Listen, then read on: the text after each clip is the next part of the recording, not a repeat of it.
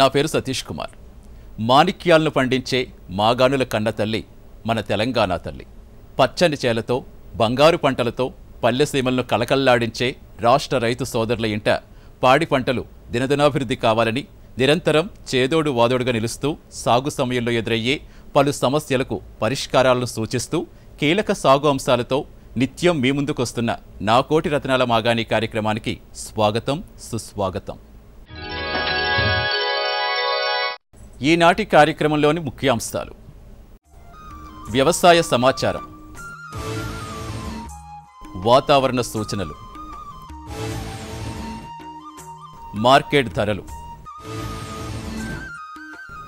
BT ప్రత్తి సాగులో మెళకువలు.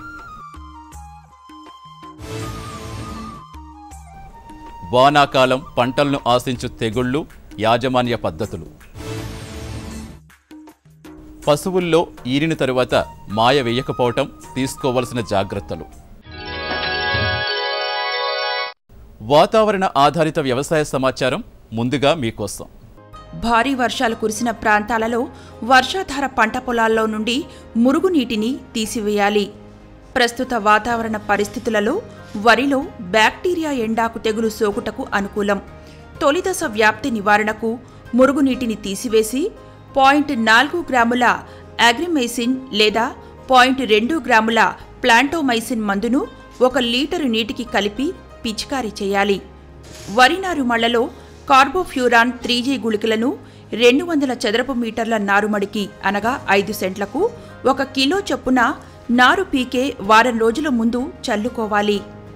వరిలో దోమపోటు ఉధృతి తగ్గించుటకు ప్రతి రెండు మీటర్లకు ఇరవై సెంటీమీటర్ల కాలిబాటను వదులుకొని తూర్పు పడమర దిశలలో వరసలను ఉండే విధంగా వరి నాట్లు వేసుకోవాలి.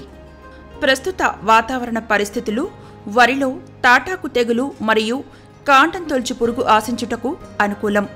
పురుగు మరియు తెగులు గమనించినట్లయితే నివారణకు తాటాకు తెగులుకు రెండు మిల్లీమీటర్ల ప్రోఫినోఫాస్ లేదా రెండు పాయింట్ ఐదు మిల్లీలీటర్ల క్లోరిఫైరిఫాస్ మందును లీటరు నీటిలో కలిపి పిచికారీ చేయాలి. కాండం తొలుచు పురుగు నివారణకు పది కిలోల కార్బోఫూరాన్ త్రీ జీ గుళికలు లేదా నాలుగు కిలోల ఫోరేట్ గుళికలను నాటిన పదిహేను నుంచి ఇరవై రోజుల తర్వాత ఎకరా పొలంలో వేసుకోవాలి. మొక్కజొన్నలో కత్తెర పురుగు ఆశించినట్లుగా గమనించడమైంది.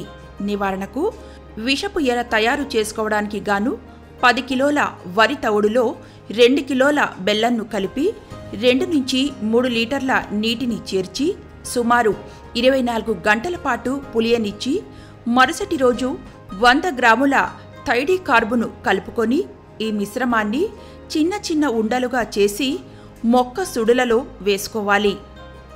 ఇమామెక్టిన్ బెంజోయేట్ పాయింట్ నాలుగు గ్రాములు లేదా క్లోరాన్ ట్రినిలిప్రోల్ పాయింట్ నాలుగు మిల్లీలీటర్లు లీటరు నీటిలో కలిపి పిచికారీ చేయాలి. అధిక వర్షాలు మరియు ఆకాశం మేఘావృతమై ఉండటం వలన పత్తిలో బ్యాక్టీరియా నల్లమచ్చ తెగులు సోకుటకు అనుకూలం. నివారణకు ముప్పై గ్రాముల కాపర్ ఆక్సిక్లోరైడ్ మరియు ఒక గ్రాము ప్లాంటోమైసిన్ మందును పది లీటర్ల నీటికి కలిపి పిచికారీ చేయాలి. పత్తిలో గులాబీ రంగు పురుగు ఆశించడమైంది. పురుగు ఉనికిని గమనించడానికి ఎకరానికి నాలుగు లింగాకర్షక బుట్టలు ఏర్పాటు చేసుకొని వరుసగా మూడు రోజులు ఏడు నుంచి ఎనిమిది తల్లి రెక్కల పురుగులు గమనించినట్టయితే సస్యరక్షణ చర్యలు చేపట్టాలి. నివారణకు ఒకటి పాయింట్ ఐదు గ్రాముల థయోడికార్బ్ లేదా రెండు మిల్లీలీటర్ల క్లోర్ఫైరిపాస్ మందును లీటర్ నీటికి కలిపి పిచికారీ చేయాలి. ఆకుమచ్చ తెగులు మరియు రసం పీల్చే పురుగుల నివారణకు ఒక గ్రాము కార్బన్ మరియు ఒకటి పాయింట్ ఐదు గ్రాముల ఎసిఫెట్ మందును లీటర్ నీటికి కలిపి పిచికారీ చేయాలి. ప్రస్తుత వాతావరణ పరిస్థితులు పత్తిలో గూడు మరియు పూత రాలుటకు అనుకూలం. నివారణకు రెండు మిల్లీలీటర్ల ప్లానోఫిక్స్ మందును పది లీటర్ల నీటికి కలిపి పది రోజుల వ్యవధిలో రెండుసార్లు పిచికారీ చేయాలి. ప్రస్తుత వాతావరణ పరిస్థితులు కందిలో పైటోప్తోరా ఎండు తెగులు ఆశించటానికి అనుకూలం. తెగులు గమనించిన చోట నివారణకు మూడు గ్రాముల కాపర్ ఆక్సీక్లోరైడ్ మందును ఒక లీటర్ నీటికి కలిపి మొక్క మొదళ్ళను పూర్తిగా తడిపి తెగులు వ్యాప్తి నివారించుకోవాలి. ఆకుమచ్చ తెగులు నివారణకు ఒక గ్రాము కార్బన్ డజిమ్ మందును లీటరు నీటికి కలిపి పిచికారీ చేయాలి. ప్రస్తుత వాతావరణ పరిస్థితులు సోయా చిక్కుడులో ఆకుమచ్చ తెగులు ఆశించడానికి అనుకూలం. నివారణకు రెండు పాయింట్ ఐదు గ్రాముల కార్బెండజిమ్తో మ్యాంకోజబ్ మందును లీటరు నీటికి కలిపి పిచికారీ చేయాలి. కూరగాయ పంటలలో రసం పీల్చే పురుగులు గమనించినట్టయితే నివారణకు రెండు మిల్లీలీటర్ల డైమిథోయేట్ లేదా ఒకటి పాయింట్ ఐదు గ్రాముల ఎసిఫేట్ లీటర్ నీటికి కలిపి పిచికారీ చేయాలి. ప్రస్తుత వాతావరణ పరిస్థితులు కూరగాయల పంటలలో ఆకుమచ్చ తెగులు సోకుటకు అనుకూలం. తెగులు నివారణకు ఒక గ్రాము కార్బండజిమ్ లేదా ఒక మిల్లీలీటరు ప్రొపికోనజోల్ మందును లీటర్ నీటిలో కలిపి పదిహేను రోజుల వ్యవధిలో రెండుసార్లు పిచికారీ చేయాలి. ప్రస్తుత వాతావరణ పరిస్థితులు కోళ్ళలో కొక్కెర తెగులు గొర్రెలలో చిటుకు మసూచి వ్యాధి మరియు పీపీఆర్ ఆవులు మరియు గేదెలలో గొంతు వాపు వ్యాధి గొంతు మరియు గాలికుంటు వ్యాధి సోకుటకు అనుకూలం. వీటి నివారణకు టీకాలు వేయించాలి. ఇప్పుడు ప్రస్తుత వాతావరణ సూచనల వివరాలు. గడచిన మూడు రోజులలో రాష్ట్రంలో కొన్ని చోట్ల తేలికపాటు నుండి ఓ మోస్తరు వర్షాలు కురిశాయి. పగటి ఉష్ణోగ్రతలు ఇరవై ఏడు నుంచి ముప్పై ఐదు డిగ్రీల సెల్సియస్ మరియు రాత్రి ఉష్ణోగ్రతలు ఇరవై ఒకటి నుంచి ఇరవై ఏడు డిగ్రీల సెల్సియస్గా నమోదయ్యాయి. హైదరాబాద్ వాతావరణ కేంద్రం వారు అందించిన సమాచారం ప్రకారం రాబోవు ఐదు రోజులలో రాష్ట్రంలో కొన్ని చోట్ల తేలికపాటి నుండి ఓ మోస్తరు వర్షాలు కురిసే సూచనలున్నాయి. మరియు ఆ తర్వాత రెండు నుంచి ఎనిమిది సెప్టెంబర్ వరకు సాధారణ వర్షపాతం నమోదయ్యే సూచనలున్నాయి. పగటి ఉష్ణోగ్రతలు ఇరవై ఏడు నుంచి ముప్పై ఐదు డిగ్రీల సెల్సియస్ మధ్య మరియు రాత్రి ఉష్ణోగ్రతలు ఇరవై ఒకటి నుంచి ఇరవై ఆరు డిగ్రీల సెల్సియస్ మధ్య నమోదు కావచ్చు. ఇక నేటి మార్కెట్ ధరలు. వరి బీపీటీ రకం చొప్పదండిలో క్వింటాలకు కనిష్ట గరిష్ట ధరలు పదిహేను వందల అరవై రెండు రూపాయలు. సూర్యాపేటలో క్వింటాలకు కనిష్ట గరిష్ట ధరలు పద్దెనిమిది వందల ముప్పై ఐదు రూపాయలు. కోదాడలో క్వింటాలకు కనిష్ట గరిష్ట ధరలు పద్దెనిమిది వందల ముప్పై ఐదు రూపాయలు. పెసలు వరంగల్లో క్వింటాలకు కనిష్ట ధర నాలుగు వేల ఏడు వందల యాభై తొమ్మిది రూపాయలు. గరిష్ట ధర ఐదు వేల మూడు వందల తొంభై ఆరు రూపాయలు. సూర్యాపేటలో క్వింటాలకు కనిష్ట ధర నాలుగు వేల ఐదు వందల పన్నెండు రూపాయలు. గరిష్ట ధర ఆరు వేల రెండు వందల ఒక రూపాయలు. కరీంనగర్లో క్వింటాలకు కనిష్ట గరిష్ట ధరలు నాలుగు వేల ఐదు వందల రూపాయలు. కంది. సూర్యాపేటలో క్వింటాలకు కనిష్ట ధర ఐదు వేల రెండు వందల ముప్పై తొమ్మిది రూపాయలు. గరిష్ట ధర ఐదు వేల ఎనిమిది వందల ఆరు రూపాయలు. వరంగల్లో క్వింటాలకు కనిష్ట ధర ఐదు వేల అరవై రూపాయలు. గరిష్ట ధర ఐదు వేల నాలుగు వందల ఎనభై తొమ్మిది రూపాయలు. కరీంనగర్లో క్వింటాలకు కనిష్ట ధర నాలుగు వేల రెండు వందల తొమ్మిది రూపాయలు. గరిష్ట ధర నాలుగు వేల మూడు వందల అరవై తొమ్మిది రూపాయలు. రాష్ట్రంలో ప్రత్తిని వాణిజ్య పంటగా సుమారు యాభై రెండు లక్షల ఎకరాల్లో సాగు చేస్తున్నారు. బీటీ ప్రతి రకాన్ని అత్యధికంగా సాగు చేస్తున్న రాష్ట్ర రైతాంగం పెట్టిన అధిక పెట్టుబడులకు ధీటుగా అధిక దిగుబడులు సాధించాలంటే పంటకు ఇవ్వవలసిన ఎరువులు నీరు మరియు కలుపు నివారణ వంటి వివిధ కీలక అంశాలతో పాటు ప్రత్తితీతల సమయంలో కూడా సరైన యాజమాన్య మెలకువలను పాటించి తీరాలి. మరి బీటీ ప్రత్తి సాగులో పాటించాల్సిన మెలకువల వివరాలను గురించి ఇప్పుడు తెలుసుకుందాం. మన తెలంగాణ రాష్ట్రంలో ప్రతి పంటను యాభై రెండు లక్షల ఎకరాల్లో రైతు సోదరులు సాగు చేస్తున్నారు. అయితే ప్రస్తుతం బీటీ పత్తిలో మనము సరియైన యజమాన పద్ధతులు పాటించడం వల్ల అధిక దిగుబడులు సాధించవచ్చు. ముఖ్యంగా ఎరువుల యాజమాన్యము కలుపు యాజమాన్యము మరియు సూక్ష్మ పోషకాల యాజమాన్యము నీటి యాజమాన్యము కనుక మనం చేసినట్లయితే బీటీ పత్తిలో మంచి దిగుబడులు సాధించడానికి అవకాశం ఉంటుంది. ముఖ్యంగా మనకు రైతు సోదరులు ఎరువులు చూసినట్లయితే ఒక ఎకరానికి నలభై ఎనిమిది కిలోల నత్రజని ఇరవై నాలుగు కిలోల బాస్రము మరియు ఇరవై నాలుగు కిలోల పొటాష్ ఇచ్చేటువంటి ఎరువులను వేసుకోవాల్సి ఉంటుంది. అయితే బాస్రాన్ని ఆల్రెడీ రైతు సోదరులందరూ కూడా అడుగు మందుగా పత్తి పంట వేసే ముందు వేసి ఉన్నారు. పైపాటుగా మనము నత్రజని మరియు పొటాష్ ఎరువులను వేసుకోవాల్సి ఉంది. ఇది పత్తి పంట వేసిన తర్వాత ఇరవై రోజులకు నలభై రోజులకు మరియు ఎనభై రోజులకు మనం వేసుకోవాల్సి ఉంటుంది. వేసిన ప్రతిసారి ఇరవై ఐదు కిలోల యూరియా మరియు పది కిలోల మిరట పొటాష్ కలుపుకొని మనం ప్రతి పంటను వేసుకున్నట్లయితే మనకు బాగుంటుంది. అయితే ఈ ఎరువులు వేసేటప్పుడు మొక్కకు ఒక జానడు దూరంలో మట్టిని తీసి పాదులుగా ఎరువు వేసినట్లయితే ఇది వేరు వ్యవస్థకు ఎరువులు అంది మనకు మంచి లాభసాటిగా ఉంటుంది. అదేవిధంగా పత్తి పంటలో మనకేంటంటే కలుపు సమస్య ఎక్కువగా ఉంటుంది. పత్తి పంట వేసిన తర్వాత ఈ మధ్యకాలంలో జూన్ మరియు జూలై మాసంలో అధిక వర్షాలు కురవడం వల్ల అంతర్కృషి చేయడానికి చాలా ఇబ్బందికరంగా ఉంది. ఈ కలుపును నివారించడానికి కలుపు మందులను మనం పిచికారీ చేయాల్సినటువంటి అవసరం ఉంది. ముఖ్యంగా మనకు గడ్డి జాతి కలుపు కనుక మన పత్తి పంటలో ఉన్నట్లయితే టర్గా సూపర్ క్విజాలోపాప్ ఇథాయిల్ మన మందు టర్గా సూపర్ రూపంలో దొరుకుతుంది. ఇది ఎకరానికి నాలుగు వందల మిల్లీలీటర్లు పిచికారీ చేయాలి. అది కాకుండా మనకు ప్రొపా క్విజోపాప్ ఎజిల్ అనే మందు టూ ఫిఫ్టీ మిల్లీలీటర్లు ఒక ఎకరానికి పిచికారీ చేసినట్లయితే గడ్డి జాతి కలుపు నివారించవచ్చును. ఇది కాకుండా వేల్పాక ఆకు మన కలుపు ఉన్నట్లయితే మనము హిట్వీడ్ పైరిథయోబాక్ సోడియం అనే మందును కలుపు మందును పిచికారీ చేసినట్లయితే మనము వెడల్పాకు గడ్డి మందు గడ్డిని మనం నివారించవచ్చును.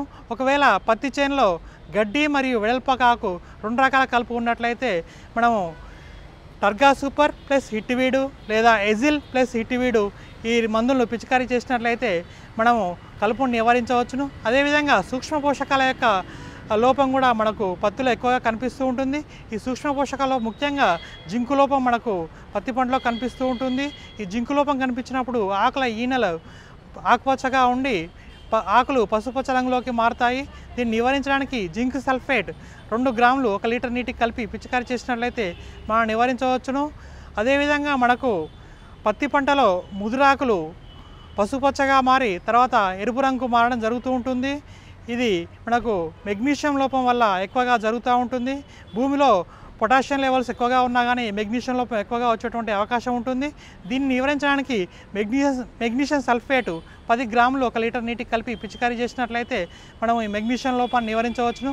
అదేవిధంగా పత్తి పంటలో మనకేంటంటే బోరాన్ లోపం కూడా మనకు ఎక్కువగా కనిపిస్తూ ఉంటుంది. ఇది కనిపించినప్పుడు పూలు చిన్నగా కావడము మరియు పూత పిందె రాలడము కాండం పైన పగుళ్ళు ఏర్పడడం జరుగుతూ ఉంటుంది. ఈ బోరాన్ లోపము వచ్చినప్పుడు బోరాక్స్ వన్ పాయింట్ ఫైవ్ గ్రాములు లీటర్ నీటికి పిచికారీ చేసుకున్నట్లయితే మనం దీన్ని నివారించుకోవచ్చు. అదేవిధంగా మనకు పత్తి పంటలో అధికంగా వచ్చే సమస్య ఏంటంటే అధిక వర్షాలు ఉన్నప్పుడు మరియు బెట్ట పరిస్థితులు ఉన్నప్పుడు మనకేంటంటే పూత పిందె రావడం జరుగుతూ ఉంటుంది. దీన్ని నివారించడానికి మనం ఏంటంటే ప్లానోఫిక్స్ నాప్థ్రైన్ అసిటిక్ యాసిడ్ మనకు పిచికారీ చేసుకోవాల్సి ఉంటుంది. అది ఒక గ్రాము పది లీటర్ల నీటికి కలిపి పిచికారీ చేసుకున్నట్లయితే మనకేంటంటే పూత పిందె రావడం అనేది మనం నివారించవచ్చును. అదేవిధంగా ఈ సమయంలో ఇరవై గ్రాముల యూరియా లేదా డిఏపి ఒక లీటర్ నీటికి కలిపి పిచికారీ చేసినట్లయితే ఈ సమస్యను మనం నివారించవచ్చును. అదేవిధంగా నీటి యాజమాన్యం చూసినట్లయితే పత్తి పంట పూత కాయ మరియు పిందె దశ చాలా సున్నితమైన దశలు. ఈ సమయంలో మనము నీటి ధరలు కనుక పత్తి పంటకు ఇచ్చినట్లయితే పత్తిలో అధిక దిగుబడులు వచ్చేటువంటి అవకాశం ఉంటుంది. కావున పది నుంచి పదిహేను రోజుల ఎడంలో పత్తి పంటకు మనకు బెట్ట రాకుండా మన నీటి తల్లు కనుక పూత దశలో మరియు పిందె దశలో కాయ గట్టిపడే దశలో ఇచ్చినట్లయితే మనకు పత్తిలో అధిక దిగుబడులు వస్తూ ఉంటాయి. ఇది కాకుండా మన పత్తి పంటలో ముఖ్యంగా ఏంటంటే పత్తి తీసివేసేటప్పుడు సరి అయిన జాగ్రత్తలు తీసుకోవాలి. పత్తి పూర్తిగా ఎండిన తర్వాత మనం ఏంటంటే పత్తి తీసివేయాల్సి ఉంటుంది. పత్తి మనకేంటంటే ముఖ్యంగా చలికాలంలో తీయడానికి వస్తుంది కాబట్టి చలికాలంలో ఉదయం సమయంలో మంచు ఎక్కువగా కురుస్తుంది కాబట్టి ఉదయం సమయం కాకుండా పది గంటల తర్వాత పత్తిని తీసేసి పది గంటల నుండి మధ్యాహ్నం ఒంటి గంట వరకు మరియు సాయంత్రం మూడు నుంచి ఆరు గంటల వరకు పత్తి పంటను తీసుకోవాలి.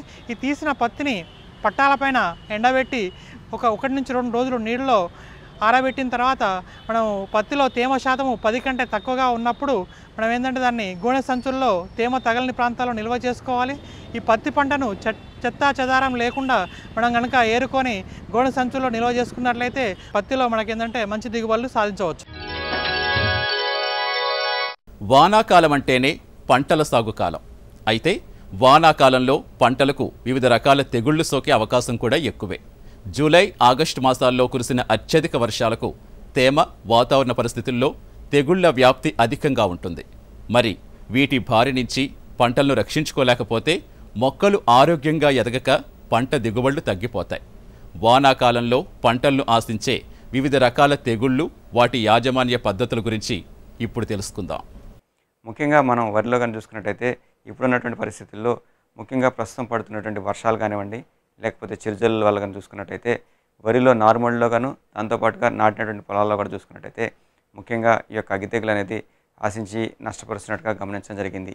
ముఖ్యంగా ఎక్కడైతే ఈ నార్మళ్ళలో కానివ్వండి నాటేసినటువంటి పొలాల్లో కనుక మనం అగ్గితెగులు గమనించినట్టయితే ముఖ్యంగా దీని తాలూకు లక్షణాలు కనుక మనం గమనించి చూసినట్టయితే ఎక్కడైతే ఈ యొక్క అగ్గితెగులు ఆశిస్తూ ఉందో ఆకుల మీద నూలుకండ ఆకారం మచ్చలు ఏర్పడటం దాంతోపాటు వాతావరణం అనుకూలంగా ఉన్నటువంటి పరిస్థితుల్లో ఈ నూలు నూ- నూలుకండ ఆకార మచ్చలన్నీ కూడా ఒకదానితో ఒకటి కలిసిపోయి తద్వారా ఆకంతా కూడా తగలబడినట్టుగా గుర్తించడం అనేది దీని యొక్క ప్రధాన లక్షణంగా ఆ, గుర్తించేదానికి వీలుంది. దాంతోపాటు ముఖ్యంగా మనం చూసుకున్నట్టయితే సాధారణంగా ఇప్పుడు మనం సాగు చేసేటువంటి సన్న రకాల్లో ముఖ్యంగా తెలంగాణ సోన తప్ప మిగిలినటువంటి రకాలు కనుక సాగు చేసిన పరిస్థితుల్లో కనుక చూసుకున్నట్టయితే ఈ యొక్క అగ్గితెగులు అనేది ప్రధానమైనటువంటి సమస్యగా ఉంటుంది కాబట్టి దయచేసి రైతు సోదరులు ఎక్కడైతే అగ్గితెగులు ఆశించిందో అగ్గితెగులు నివారణ విషయంకి వచ్చినట్టయితే ముఖ్యంగా ప్రధాన పొలంలో కానీ చూసుకున్నట్టయితే ఈ యొక్క ట్రైసైక్లోజల్ అయినట్టయితే సున్నా పాయింట్ ఆరు గ్రాములు లేదా ఐసోప్రోతాల్ అయినట్టయితే ఒకటి పాయింట్ ఐదు మిల్లీలీటర్లు లేదా కస్కమైసినట్టయితే రెండు పాయింట్ ఐదు మిల్లీలీటర్లు. లీటర్ నీటి కలిపి మందులను మార్చి వారం పది రోజుల వ్యవధిలో రెండుసార్లు కనుక పిచికారీ చేసుకున్నట్టయితే ప్రస్తుతం ఉన్నటువంటి పరిస్థితుల్లో ఈ యొక్క అగ్గి సమర్థవంతంగా అరికట్టడానికి వీలుంటుంది. అదే రకంగా ముఖ్యంగా రైతు సోదరులు ఎక్కువగా చెప్తా ఉన్నటువంటి ఇంకొక సమస్య ఏంటంటే ఎక్కడైతే నాటు పెట్టారో ఇలాంటి పరిస్థితుల్లో కానీ చూసుకున్నట్టయితే ఆకులన్నీ ఎరబడిపోవటం ఆకుల మీద గమనించి చూసినట్టయితే ఆకుల మీద తుప్పు రంగు మచ్చలు కనబడటం అనేది సాధారణంగా ఎక్కువ ప్రాంతాల్లో గమనించడం జరిగింది. ముఖ్యంగా కనుక చూసుకున్నట్టయితే ఎక్కడైతే అగ్గి ఎక్కడైతే ఈ యొక్క తుప్పు మచ్చలు ఉన్నాయో దీన్ని మనం జింక్ లోపం ఆశించిందిగా గుర్తించాలి. ఈ జింక్ లోపాన్ని నివారించుకున్నట్టయితే చాలా వరకు మొక్క పెరుగుదల సాధారణ స్థాయికి వచ్చి తద్వారా ఈ యొక్క జింకు ప్రభావం అనేది మొక్కల మీద పడకుండా కాపాడుకునే దానికి వీలుంటుంది. ఎక్కడైతే జింక్ సంబంధించినటువంటి లోపాన్ని మనం గమనించామో వరి మొక్క వరిలో దీనికి గాను చూసుకున్నట్టయితే జింక్ సల్ఫేట్ అనేటైతే రెండు గ్రాముల లీటర్ నీటి కలిపి ఐదు రోజుల వ్యవధిలో రెండుసార్లు కనుక పిచికారీ చేసుకున్నట్టయితే ఈ యొక్క జింక్ లోపాన్ని సమర్థవంతంగా అరికట్టేదానికి వీలుంటుంది. దాంతోపాటు ముఖ్య ముఖ్య- ముఖ్యమైనటువంటి అంశం ఏంటంటే గత సీజన్లో వచ్చినటువంటి కొన్ని సమస్యలు కానీ చూసుకున్నట్టయితే కొన్ని ప్రాంతాల్లో ముఖ్యంగా ఎక్కడైతే బాగా వర్షాలు పడి కాల భూముల్లో లోతట్టు ప్రాంతాల్లో కానీ చూసుకున్నట్టయితే ఈ కాండం కుళ్ళు తెగులు కూడా ఆశించేదానికి అవకాశం ఉంటుంది కాబట్టి ముఖ్యంగా కాండం కుళ్ళు తెగులు ఆశించినటువంటి పరిస్థితుల్లో కానీ చూసుకున్నట్టయితే ఎక్కడైతే ఈ యొక్క మొక్కలను పీకి చూసామో వేళ్ళంతా నలబడిపోవటం దాని మీద ఉన్నటువంటి కాండం కూడా నలబడటం అనేది దీని యొక్క సాధారణ లక్షణంగా గుర్తించేదానికి వీలుంటుంది. ఎప్పుడైతే ఈ యొక్క కాండం కుళ్ళు తెగులు ఆశించిందో ఇలాంటి పరిస్థితుల్లో సాధ్యమైనంత వరకు పొలాన్ని ఆరబెట్టడం అనేది ఒక ముఖ్యమైనటువంటి అంశంగా రైతు సోదరులు గుర్తించాలి. దాంతోపాటు ఈ పొలాన్ని ఆరబెట్టిన తర్వాత కానీ చూసుకున్నట్టయితే ప్రోపికొనజోల్ అయినట్టయితే ఒక మిల్లీ లీటరు లేదా హెక్సాకొనజోల్ అయినట్టయితే రెండు మిల్లీ లీటర్లు లేకపోయినట్టయితే కార్బన్డిజం అయినట్టయితే ఒక గ్రాము లేకపోతే వ్యారిడామైసిన్ అయినట్టయితే రెండు మిల్లీ లీటర్లు లీటర్ నీటి కలిపి మందులను మార్చి కనుక పిచికారీ చేసుకున్నట్టయితే ఈ యొక్క కాండం కుళ్ళు తెగులని సమర్థవంతంగా అరికెట్టడానికి వీలుంటుంది. దాంతోపాటు ప్రస్తుతం ఉన్నటువంటి పరిస్థితుల్లో చాలా విస్తీర్ణంలో సాగు చేసినటువంటి వాణిజ్య పంట పత్తి. పత్తి కానీ చూసుకున్నట్టయితే ప్రస్తుతం గత పదిహేను ఇరవై రోజుల నుంచి పడుతున్నటువంటి వర్షాలు కానివ్వండి లేకపోతే జూన్ మాసంలో పడినటువంటి అధిక వర్షాలు కానీ చూసుకున్నట్టయితే ముఖ్యంగా కొన్ని సమస్యలు తలెత్తాయి. దీంట్లో భాగంగా చూసుకున్నట్టయితే ఎక్కడైతే నల్లరేగడి భూముల్లో పత్తిని సాగు చేశారో ఇలాంటి పరిస్థితుల్లో ఈ యొక్క మొక్కలని మొక్కలన్నీ కూడా కొన్ని ప్రాంతాల్లో అక్కడక్కడ ఎండిపోవడం అనేది మనం సాధారణంగా గమనిస్తూ ఉంటాము. ఎక్కడైతే మొక్క ఎండిపోతూ ఉందో దీన్ని గుర్తించి మొక్క మొదటి భాగాన్ని చీల్చి చూసినప్పుడు మొక్క యొక్క వేరు భాగం అంతా నల్ నల్లబడిపోవటం దీన్ని మనం ముఖ్యంగా వేరుకుళ్ళు తెగులుగా గుర్తించి దీనికి కొన్ని రకాలైనటువంటి సిలిండర్ నాశనలు వాడినట్టయితే తద్వారా ఈ తెగుల్ని సమర్థవంతంగా అరికట్టేదానికి అవకాశం ఉంటుంది. దీంట్లో భాగంగా చూసుకున్నట్టయితే కాప్రాక్సిక్లోరైడ్ అనేటైతే మూడు గ్రాములు లేదా కార్పెండిజం అనేటైతే ఒక గ్రాము లీటర్ నీటి కలిపి మొక్క మొదలను తడుపుకుంటూ తద్వారా ఈ యొక్క తెగులు ఆశించినటువంటి మొక్కకి చుట్టుపక్కల ఉన్నటువంటి ఒక పది ఇరవై మొక్కలు కనుక మనం మొదలు తడుపుకున్నట్టయితే ఇది వేరే మొక్కకు ఆశించకుండా తద్వారా దీన్ని కూడా సమర్థవంతంగా అరికట్టేదానికి వీలుంటుంది. ముఖ్యంగా కొన్ని ప్రాంతాల్లో కానీ చూసుకున్నట్టయితే అంటే ముదురు పత్తి అంటే సుమారుగా నలభై ఐదు రోజుల నుంచి అరవై రోజుల దశలో ఉన్నటువంటి పత్తిలో కానీ చూసుకున్నట్టయితే మనకి బ్యాక్టీరియా ఆకుమచ్చ కూడా కొన్ని కొన్ని ప్రాంతాల్లో వచ్చేదానికి అవకాశం ఉంటుంది కాబట్టి ఎప్పుడైతే రైతు సోదరులు బ్యాక్టీరియా ఆకుమచ్చ ఆశించిందో ఈ యొక్క ఈ నెల వెంబడి మనకు చూసుకున్నట్టయితే ఈ యొక్క కోణాకార మచ్చలు ఏర్పడటం అనేది దీని యొక్క లక్షణంగా గుర్తించాలి. దీని యొక్క ఉధృతి పెరిగినట్టయితే మనం ముఖ్యంగా ఈ ఈ నెలన్నింటిని కూడా నల్లబట్టం సాధారణంగా దీని యొక్క తెగులు యొక్క లక్షణం దీని నివారణ కానీ చూసుకున్నట్టయితే కాప్రాక్సిక్లోరైడ్ అనేది ముప్పై గ్రాములు దీంతోపాటు ప్లాంటమైసిన్ కానీ లేకపోయినట్టయితే పోషామైసిన్ కానీ లేదా స్టెప్టోసైక్లిన్ కానీ ఒక గ్రాము పది లీటర్ల నీటి కలిపి పది రోజుల వ్యవధిలో రెండుసార్లు కనుక పిచికారీ చేసుకున్నట్టయితే ప్రస్తుతం ఉన్నటువంటి పరిస్థితుల్లో వాతావరణం మబ్బుగా ఉన్నటువంటి పరిస్థితులు కానీ చూసుకున్నట్టయితే బ్యాక్టీరియా ఆకుమచ్చ తెగులు ఆశించకుండా తద్వారా పంటను కాపాడేదానికి చాలా వరకు అవకాశం ఉంటుంది. దాంతోపాటు ప్రధానంగా ముఖ్యంగా మన ప- అపరాల పంటల్లో ముఖ్యంగా చూసుకున్నట్టయితే పెసరను చాలా విస్తీర్ణంలో విత్తడం జరిగింది. ముఖ్యంగా వరి కంటే ముందు కానివ్వండి లేకపోయినట్టయితే ముఖ్యంగా మొక్కజొన్న సాగు చేసే రబీలో మొక్కజొన్న సాగు చేసే పరిస్థితి ఉన్నటువంటి ప్రాంతాల్లో ఖరీఫ్లో పెసర చాలా విస్తీర్ణంలో విత్తడం జరిగింది కాబట్టి ఈ పెసర ప్రస్తుతం చూసుకున్నట్టయితే సుమారుగా నలభై ఐదు రోజుల దశలో ఉంది. ఈ దశలో ఉన్నటువంటి పెసరలో కానీ చూసుకుంటే ఈ పల్లాకు తెగులు అనేది కొన్ని ప్రాంతాల్లో గమనించడం జరిగింది కాబట్టి ఎప్పుడైతే పల్లాకు తెగులు ఆశిస్తూ ఉందో ఈ పల్లాకు తెగులు అనేది వైరస్ సంబంధించినటువంటి తెగులు కాబట్టి దీన్ని నిరోధించలేము కానీ దీని యొక్క వ్యాప్తిని చాలా వరకు అరికట్టేదానికి అవకాశం ఉంది. ఈ అరికట్టే పరిస్థితుల్లో కానీ చూసుకున్నట్టయితే ఈ తెల్లదోమ అనేది ఈ తెల్లదోమ అనేది ఒక ముఖ్యమైనటువంటి పురుగు కాబట్టి ఈ తెల్లదోమ ఈ యొక్క ఎల్లో మొజాయిక్ వైరస్ని ఒక మొక్క నుంచి ఇంకో మొక్కకు తీసుకెళ్తూ ఉంటుంది కాబట్టి ఈ యొక్క తెల్లదోమని నిరోధించినట్టయితే తద్వారా యొక్క వైఎంవి తెగుల్ని సమర్థవంతంగా అరికట్టేదానికి చాలా వరకు అవకాశం ఉంది. దీని నివారణ కానీ చూసుకున్నట్టయితే తెల్లదోమ నివారణకి సిఫేట్ అయినట్టయితే ఒకటి పాయింట్ ఐదు గ్రాములు లేదా ఎస్టామిఫ్రూడ్ అయినట్టయితే సున్నా పాయింట్ రెండు గ్రాములు లీటర్ నీటి కలిపి మందులను మార్చి కనుక స్ప్రే చేసుకున్నట్టయితే చాలా వరకు ఈ యొక్క తెల్లదోమని సమర్థవంతంగా అరికట్టేదానికి వీలుంటుంది. దాంతోపాటు ఇప్పుడిప్పుడే పోస్తున్నటువంటి పంట కానీ చూసుకున్నట్టయితే ముఖ్యంగా మిరప. మిరప చాలా ప్రాంతాల్లో నార్మల్ దశలో ఉంది కాబట్టి గత నెల రోజుల నుంచి పడుతున్నటువంటి అధిక వర్షాల వల్ల నారుమళ్ళలో ముఖ్యంగా చూసుకున్నట్టయితే నారుకుళ్ళు తెగులు అనేది ఎక్కువగా ఆశించి నష్టపరుస్తున్నట్టుగా గమనించడం జరిగింది. ఎక్కడైతే నారుకుళ్ళు తెగులు ఆశించిందో సాధ్యమైనంత వరకు ఈ యొక్క నారుమళ్ళలో నీల్ నిల్చకుండా చూసుకున్నట్టయితే చాలా వరకు నారుకుళ్ళు తెగులు కుదురు తగ్గుతూ ఉంటుంది. దాంతోపాటు కానీ చూసుకున్నట్టయితే ఎక్కడైతే ఈ నారుకుళ్ళు తెగులు ఆశించిందో దాంతోపాటు నా ఇప్పుడు ప్రస్తుతం విత్తేటువంటి పరిస్థితుల్లో కంపల్సరీగా రైతు సోదరులు గుర్తెట్టుకోవాల్సినటువంటి ఒక ముఖ్యమైన అంశం ఏంటంటే నారు విత్తిన తర్వాత తొమ్మిదో రోజు అదే రకంగా పదమూడో రోజు కాప్రాక్సిక్లోరైడ్ అనేటైతే మూడు గ్రాముల లీటర్ నీటి కలిపి కనుక నార్మల్ని తడిపినట్టయితే చాలా వరకు ఈ యొక్క నార్కుల తెగులని సమర్థవంతంగా అరికట్టేదానికి అవకాశం ఉంటుంది. కాపరాక్సిక్లోరైడ్ కాని పక్షంలో కానీ చూసుకున్నట్టయితే రిడమిల్ ఎంజెడ్ అనేటైతే రెండు పాయింట్ ఐదు గ్రాములు లీటర్ నీటి కలిపి ఈ యొక్క నార్మల్ని తడిపినట్టయితే తద్వారా ఈ యొక్క నార్కుల తెగులను సమర్థవంతంగా అరికట్టచ్చు. ఇప్పుడున్నటువంటి వాతావరణ పరిస్థితులను అధిగమించుకుంటూ ఈ తెగులు నివారించి తద్వారా మంచి దిగుబడి సాధించేదానికి చాలా వరకు అవకాశం ఉంది. పాడి పరిశ్రమ సజావుగా సాగాలంటే పశువుల్లో పునరుత్పత్తి సక్రమంగా జరిగేలా చూసుకోవాలి. సరైన సమయానికి చూడి కట్టించి గర్భధారణ సమయంలో తగిన జాగ్రత్తలు తీసుకోవడంతో పాటు పశువులు ఈనే సమయంలో వచ్చే పలు సమస్యల గురించి అవగాహన పెంచుకుని తగిన జాగ్రత్తలు తీసుకోవాలి. ముఖ్యంగా అనేక సందర్భాల్లో ఈనిన తరువాత పశువులు మాయ వేయకపోవడం వల్ల అనేక ఆరోగ్య సమస్యలు తలెత్తడం జరుగుతూ ఉంటుంది. మరి పశువుల్లో ఈనిన తరువాత మాయ వేయకపోవటం తీసుకోవలసిన జాగ్రత్తల గురించి ఇప్పుడు తెలుసుకుందాం. చాలా వరకు పాడి పశువుల్లో పశువు ఈనిన తర్వాత మాయ వేయకపోవడం అనేది ఒక ప్రాబ్లం. చాలా వరకు రైతు సోదరులు గమనిస్తారు. వాళ్ళు దీని ద్వారా చాలా రకాలుగా ఇబ్బందుల పాలవుతున్నారు. ఈ మాయ అనేది ఏంటి అని ఒకసారి ఆలోచిస్తే మాయ అనేది తల్లికి పిండానికి మధ్య ఒక సంధానకర్తగా వ్యవహరిస్తుంది.